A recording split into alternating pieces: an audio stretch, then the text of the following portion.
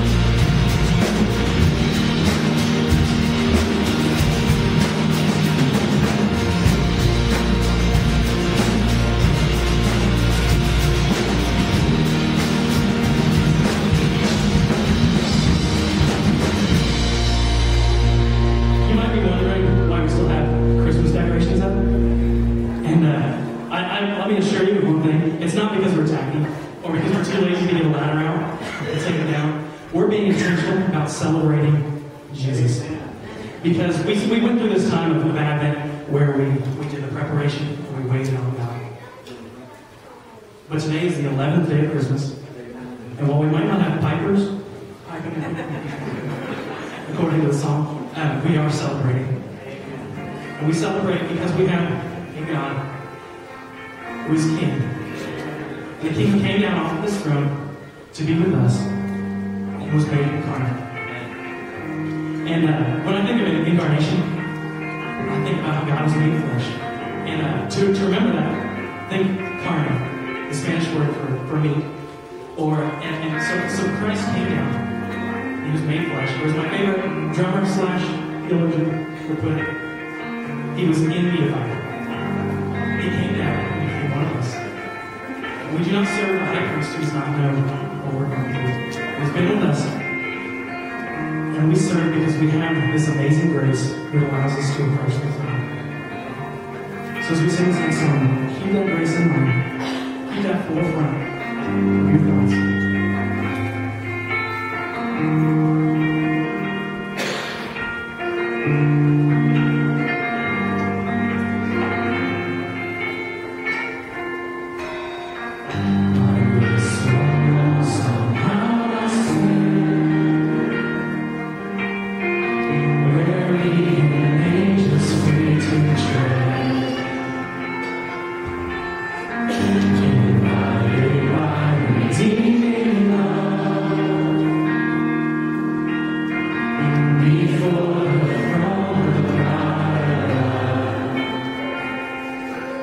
Calls me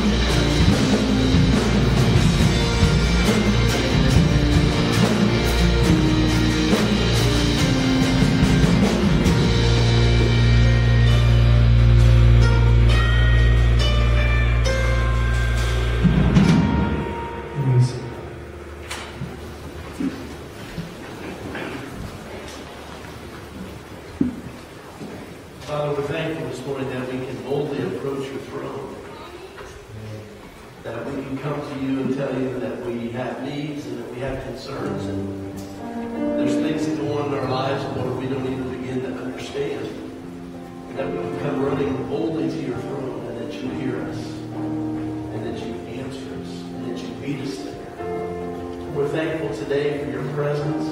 We're thankful today for the hope that we have. We're thankful today that, that Lord, we are not uh, left to our own devices, but Lord, that you are with us and that you care about us.